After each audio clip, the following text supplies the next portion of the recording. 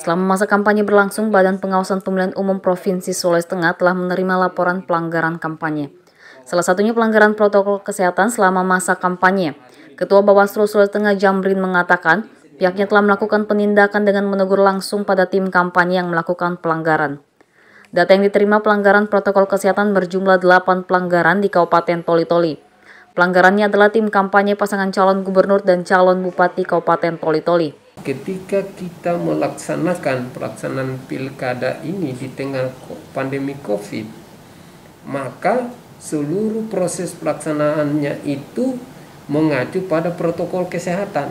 Nah, dalam rangka protokol kesehatan ini, PKPU 13 telah mengatur bahwa Bawaslu punya kewenangan untuk menindaklanjuti setiap pelanggaran COVID-19. Terkait dengan protokol ini, yang sampai saat ini laporan yang terbanyak itu itu di Kabupaten Toli-Toli. Jamrin menjelaskan ada beberapa tahapan teguran pada tim kampanye yang melanggar protokol kesehatan dan sanksi terberat adalah tim kampanye akan dilarang berkampanye selama tiga hari. Bawaslu Sulawesi Tengah juga masih menunggu laporan pelanggaran protokol kesehatan di daerah lainnya se-Sulawesi Tengah. Selama pelanggaran protokol kesehatan, Bawaslu juga tengah menangani pelanggaran kampanye yang dilakukan oleh aparat sipil negara sampai pejabat kepala desa. Aldrim Tara Kompas Palu, Sulawesi Tengah.